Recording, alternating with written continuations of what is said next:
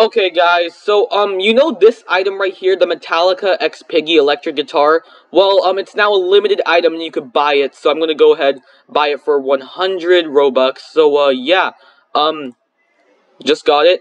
Yay, we got it, yeah, so, um, this is a limited quantity. My friend Evergator just messaged me on Discord to buy this, so, uh, yeah, thank you, Evergator, but yeah, we now have the Metallica X Piggy electric guitar, and there's only 4,800 left. So go get them while you still can, because these are going to be sold out, like, pretty fast, not going to lie, judging by its Piggy. But yeah, we got the guitar. Everyone's been wanting this for so long, dear God. Alright guys, so here is the uh, Piggy Metallica guitar in all of its glory, and it actually looks pretty nice. So as you can see, I got the Piggy Drip Drip, and I also got the Piggy Metallica guitar.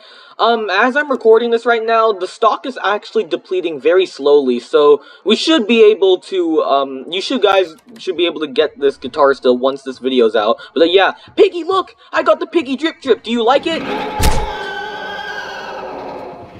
I don't think she likes it. Wait a minute. I just got a way better idea. Uh, yes, here we go, guys. Check me out. I got the Piggy Drip Drip, the Piggy Roblox bundle, and I got the Piggy Metallica guitar. A three-in-one bundle. This is actually so amazing. But yeah, guys, I think I'm just gonna end off the video here. This was me getting the Piggy Metallica guitar, and it's actually so cool. I love this so much. But yeah, it's a three-in-one bundle, guys. Look at that. The Piggy Drip Drip, uh, Piggy bundle, and Piggy guitar. Amazing. Is Piggy still gonna not like it?